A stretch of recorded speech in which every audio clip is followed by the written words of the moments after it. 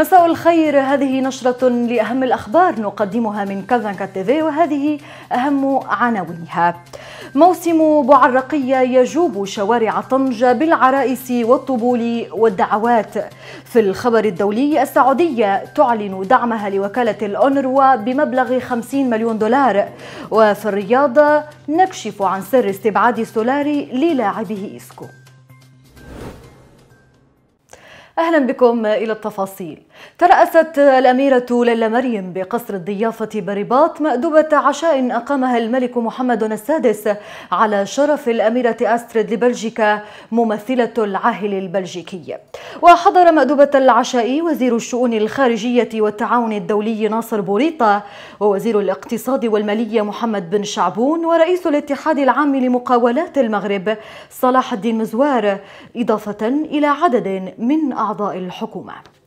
نظم مركز ابن بطوطة للدراسات وأبحاث التنمية المحلية مساء أمس الثلاثاء ندوة تهتم بموضوع التدبير المالي لجماعة طنجة وسؤال الحكامة وذلك بعد أسبوع واحد من انطلاق مشروع الميزانية التشاركية.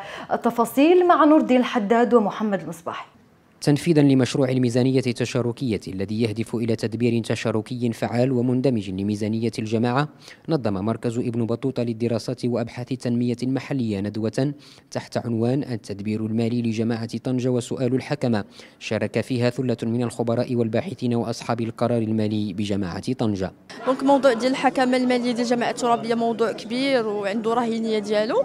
آه، مرتبطة بالتحدي الكبير ديال الجماعة الترابية اللي هو الاستقلال المالي. المالي والإداري. آه، كاينين معيقات أساسية ديال ديال الاستقلال المالي والإداري ديال الجماعات الترابيه اللي نقدروا نلخصوها. يعني هي عندها طبيعات مختلفة آه، سياسية إدارية ومالية.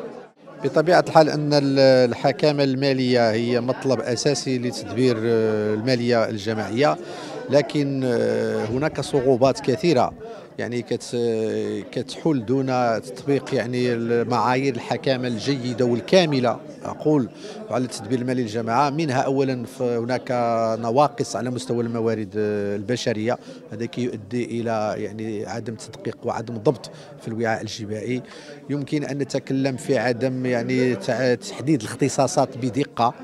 ثم أن يعود ذلك أيضا إلى عدم وجود هيكلة إدارية يعني نموذجية للمصالح المالية الجماعية.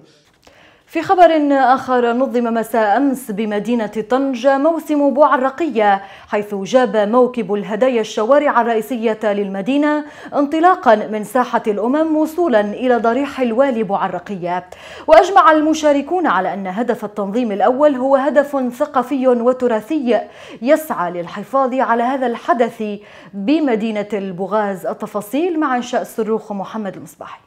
بالنسبة للمشاركة ديالنا في هذا الموكب ديال سيدي بوعرقيه هو ككل سنة كيكون في سابع المولد النبوي تخليدا لذكرى الولي الصالح سيدي بوعرقيه آه، والمؤسسه ديالنا كتشارك ككل سنة بالأطر ديالها الإدارية والتربوية وبالطلبة ديالها في هذا الموكب هذا. آه، نظرا لما يكتسيه من أهمية في يعني بالنسبة لساكنة طنجة والمغاربة بصفة عامة. دوليا قتل 22 شخصا على الأقل وأصيب 22 آخرون الأربعاء بانفجار تلاه حريق قريب من مصنع للكيماويات شمال الصين بحسب السلطات المحلية. وقالت خدمات التواصل في المدينة أن الانفجار الذي وقع قرب مصنع للكيماويات غرب بكين أدى أيضا إلى احتراق نحو 50 شاحنة. وأكد بيان رسمي أنه تم نقل الجرحى إلى المستشفى بعد الانفجار الذي لم تحدد أسبابه بعد. وقالت السلطات الصينية إن أعمال البحث والإنقاذ والتحقيق في أسباب الحادث لا زالت جارية. في السعودية أعلن المشرف العام على مركز الملك سلمان للإغاثة والأعمال الإنسانية عن تقديم 50 مليون دولار إلى وكالة غوث وتشغيل اللاجئين الفلسطينيين الأونروا التي تعاني من أزمة تمويل. وأعلنت السعودية عن تقديم مساعدتها عبر مؤتمر صحفي حضره مفوض عام الأونروا بيا كامبول الذي أعلن الأسبوع الماضي في الأردن أن وكالته خفضت عجز موازنتها لعام 2018 من 446 مليون دولار إلى 21 مليون فقط رغم وقف مساعدات واشنطن. في الشق الرياضي حقق اتحاد طنجة انتصارا شاقا في مستهل مشواره بالدور التمهيدي لدوري أبطال إفريقيا أمام منافسه إلكت سبورا تشادي بهدف دون رد. وتناوب لاعبو اتحاد طنجة على إهدار الفرص السهلة بواسطة الوادي والشنتوف أمام منافس متواضع وهو ما قوبل باحتجاج أنصاره مرة أخرى. معناها كانوا دوميناتور من أول مقابلة كانوا تقريب 90 دقيقة الفرص. ما قدرش باش نحسبها في الأخر.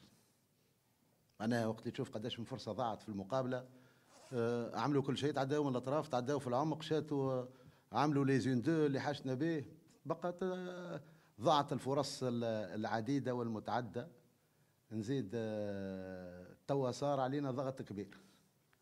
معناها ضغط كبير على اللاعبين. وراو هذا ما يساعدش الفريق. اللاعبين هذم هم اولادنا ما عندناش حتى واحد البرا ما عندنا حتى واحد البرا وماهوش قاعد يلعب. هذا الموجود في الفريق لازمنا نقف معاه ونجتهد. وقت نجي نشوف في المقابلة قديش الفرص اللي ضاعت. معناها ما نجمش نحسبها صراحة. ما نجمش نحسبها. معناها هذا المردود أنا ما وحتى اللاعبين je les félicite على المردود نتاعهم في غرفة الملابس وهذا شوط مازال الشوط الثاني باش تكون مقابلة صعيبة لكن إن شاء الله باش نترشح إن شاء الله بحول الله. إلى إسبانيا إذ كشفت إذاعة محلية عن سر استبعاد اللاعب الإسباني إسكو من قائمة فريقه ريال مدريد والذي أثار جدلا كبيرا في صفوف النادي الملكي. وذكرت الإذاعة أن إسكو قلل من احترام المدرب سانتياغو سولاري وفي حصة تدريبية الأسبوع الماضي ما دفع المدرب إلى اتخاذ موقف ضدها.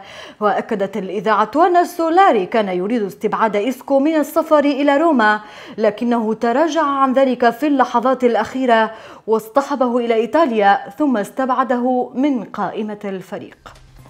مشاهدينا بهذا نصل إلى ختام النشرة. للمزيد من الأخبار زوروا موقعنا الإلكتروني كما كما بإمكانكم تحميل تطبيق كما المتاح حاليا على أنظمة أندرويد وآي أو إس شكرا لكم على حسن المتابعة وإلى اللقاء.